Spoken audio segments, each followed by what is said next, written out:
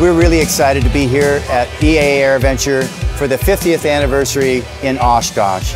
AirVenture is the world center for aviation development, and hundreds of thousands are here to share in that latest development that only occurs and is shown at this type of event. There's hundreds of booths, each sharing their pieces of the aviation experience. The most incredible aircrafts and their pilots, engineers, and people who are pushing the bounds of physics with a vision to the future of travel.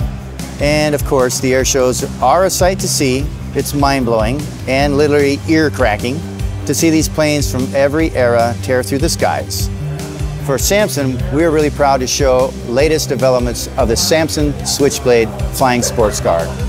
Our owners and ambassadors are here.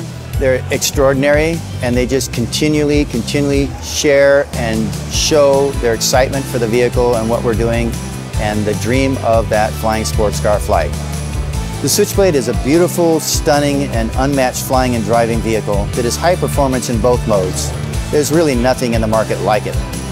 We're showing our Dash, which is one of the, the most exciting completed targets we finished in the last little bit. The prototype is nearly completed and the wing and tail fully tested and operational. The world of transportation is about to evolve with the first truly practical flying and driving vehicle, the Switchblade Flying Sports Car.